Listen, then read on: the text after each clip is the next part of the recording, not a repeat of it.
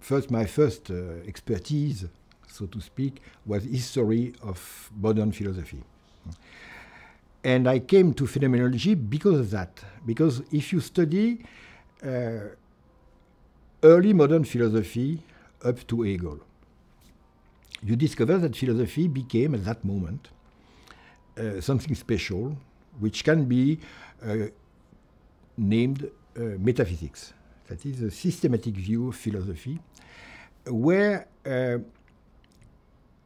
everything is known, I would say, to oversimplify, uh, top down. That is, you have principles. From those principles, you can deduce some derivative truths and try to apply them on different fields. So mostly you deduce and you classify, starting with the same set of concepts and using those concepts by combinations, uh, adaptations, complications to uh, be close as possible to the concrete things. So it is an a priori philosophy. That's why it ends up, with Hegel and others, into building systems. This great endeavor did not fail. It partly uh, uh, won. And a part of the experience can be explained that way.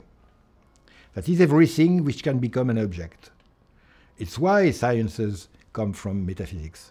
Metaphysics was a theory of how to build up objects, and uh, uh, sciences have used this set of concepts to uh, rule their own, uh, each of them, their own uh, field.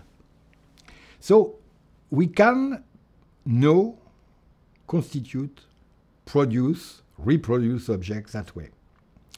But the fact was that, uh, and this is the crisis of 19th century I referred to, uh, that there are fields which cannot be understood by a deductive system. And uh, very soon the question was, should we not start uh, from uh, down up? It is not a question of empiricity, empiricism. Empiricism can be metaphysical and systematic as well, because empiricism uh, uh, is not that empiricist. Because in empiricism, you always uh, presuppose that your own mind uh, will stay before and to some extent outside of uh, the experience. We get everything through experience, through senses, but the mind of uh, the scientist, which is supposed to uh, stay in a position of uh, uh, organizing, ruling, judging, the scientist, as you say. So uh, uh, empirical sciences are not only half empirical. The real question is whether even the self, the knowing self, can be experienced a posteriori. That is, in fact, we experience that I myself, the real self, not the transcendental I, is a, a, product of my own experience.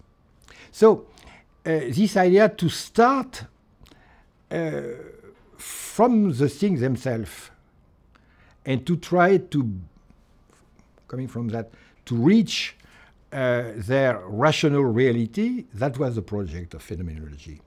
And uh, to sum it up, metaphysics is based on the distinction made by Kant between what we know, that is a phenomenon, and what we don't know, which is the Ding an sich, the thing in itself.